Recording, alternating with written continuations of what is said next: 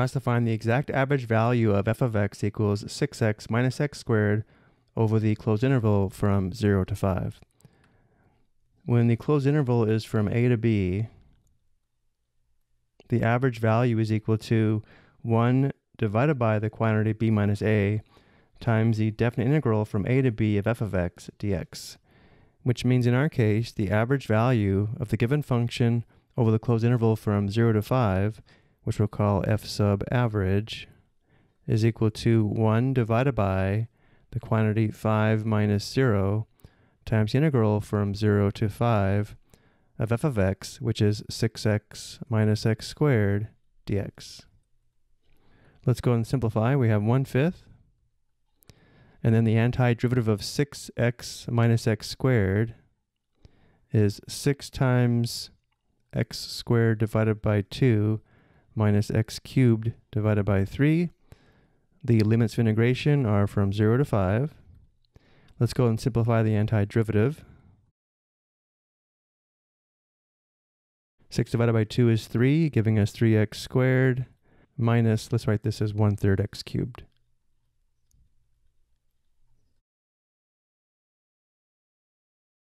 And now we determine big F of 5 minus big F of 0, which gives us 1 fifth times the quantity big F of 5 is 3 times the square of 5 minus 1 third times the cube of 5 minus big F of 0, which is going to be 0, but to show the work we have 3 times the square of 0 minus 1 third times the cube of 0.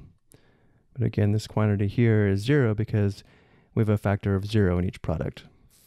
Simplifying further, we have 1 fifth times 3 times the square of 5 is 3 times 25 or 75 minus 1 third times the cube of 5. The cube of 5 is 125, giving us minus 125 thirds. Continuing to simplify, we have 1 fifth times the quantity. 75 is equal to 225 thirds.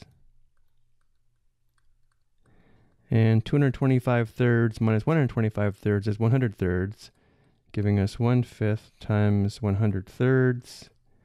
Here we can simplify before multiplying. There's 1, 5, and 5, and 25s in 100. The exact average value of f of x over the closed interval from 0 to 5 is 20 thirds.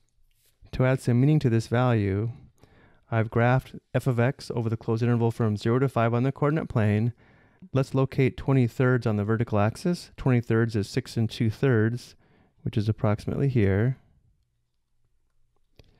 From here, if we sketch a rectangle over the closed interval from 0 to 5 with a height of 20 thirds, it would look like this.